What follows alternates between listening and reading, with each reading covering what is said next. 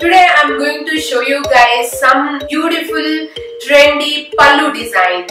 I create videos on fashion tips, fashion trends and blouse designs, sari designs, sari draping styles. There are many more videos which I do related to fashion. So don't forget to subscribe to my channel if you haven't already and activate that bell icon for uh, future video notification. This video is a continuation of my previous video where I've shown you some beautiful blouse sleeve designs. In that video, I promised you to show you some pallu designs. So here we go. In this sari pallu, I love the embroidery patchwork and the color combination.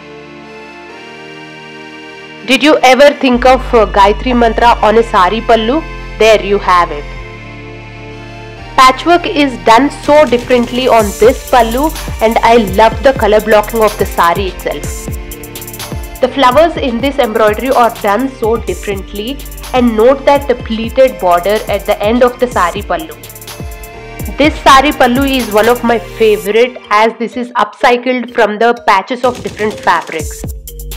Now that I have shown you my favorite sari pallu designs, let me talk about the brand where you can find these. Rustorange is all about sustainability, eco-friendly, ethical fashion.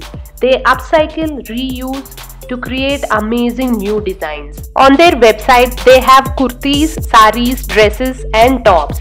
Their prices are very affordable for the kind of trendy fashion they produce. I will leave their website link in the description box. Go and check them out and if you like something, don't forget to buy from there.